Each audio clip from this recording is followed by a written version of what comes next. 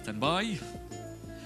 they're off and racing انطلق الشوط الرابع لمسافة ال 1400 متر من الجياد المستوردة تصنيف من 65 إلى 80 بمشاركة 11 من الجياد بعد انسحاب فهيدي من هذا الشوط. إذا انطلاقة سير تشارلي كونز هو الذي يتصدر سباق من البداية بينما المركز الثاني يأتي جورج دي فيرس وشورا كونسل يأتي في المركز الثالث. كويفلند المرشح الأول يأتي رابعا مياكس بلينزا في المركز الخامس. إذا حتى الآن سير تشارلي كونز هو اللي يتصدر السباق الآن وثم يأتي خطوة بخطوة. جورج دي فيرس في المركز الثاني. المركز الثالث شورا كونسل بينما المركز الرابع. هنالك كويفلين بمحاذاة السياج يأتي ميا إكسلينزا في المركز الخامس.